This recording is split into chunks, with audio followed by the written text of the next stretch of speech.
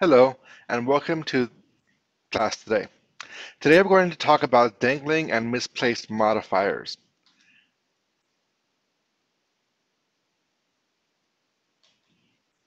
So what is a misplaced modifier? Well, first you need to know what a modifier is. A modifier is either a word, like an adverb or an adjective, or it could be a phrase, which is a group of words. And either of these two things can be something that describes or modifies a word in the sentence.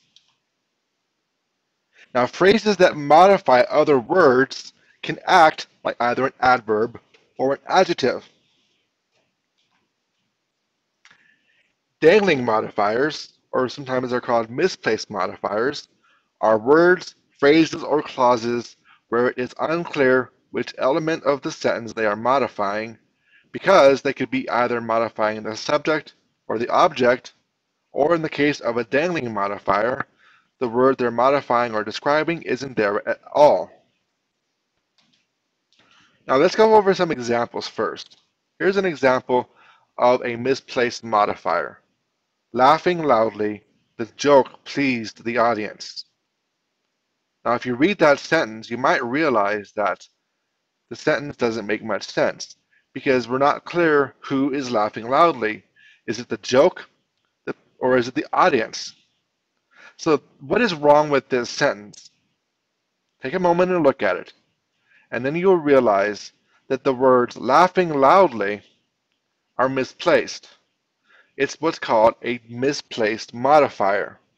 Because the words laughing loudly are too far in the too far away in the sentence from the actual word that's being described. Let's revise this sentence. The joke pleased the loudly laughing audience. That is a better way of writing the sentence. Now you'll note that I re reversed the order of the words loudly and laughing because when I wrote it again, it didn't sound terribly good. So I liked the way it sounded here better, but you could still have written it as the joke pleased the laughing loudly audience. Now you try it. Here's an example. Hopping briskly through the vegetable garden, I saw a toad. What is wrong with this sentence? I'm going to give you a few seconds to think about it and answer the question to yourself.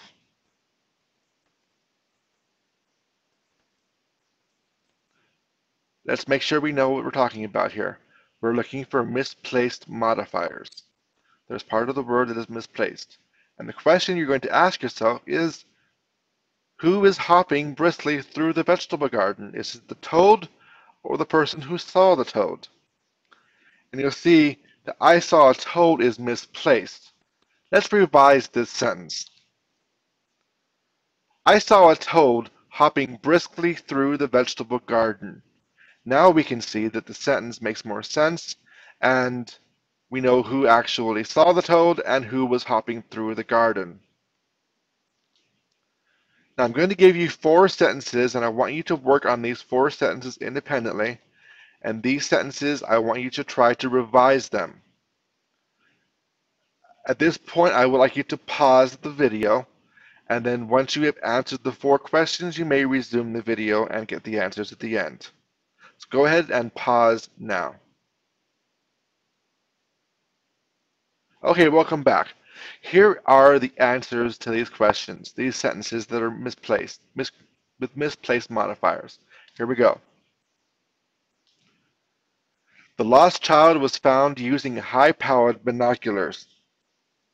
That's a better way to say it instead of saying using high-powered binoculars, the lost child was found. Instead of saying celebrating my victory, dinner with my friends lasted till midnight, you might then say instead, a dinner with my friends celebrating my victory lasted till midnight. Now we know who was celebrating the dinner and what they were celebrating instead of the other way around. Instead of saying, my cousin went on and on about her wedding in the elevator, now we know by this sentence, my cousin went on and on in the elevator describing the details of her wedding. We now know that the wedding did not take place in the elevator, but the conversation took place in the elevator. And the fourth sentence, Instead of saying the guide found the lion following its trail, where it makes it sound like the lion was following its own trail, now we know that following its trail, the guide found the lion. And so that is misplaced modifiers. Thank you so much for listening, and see you tomorrow.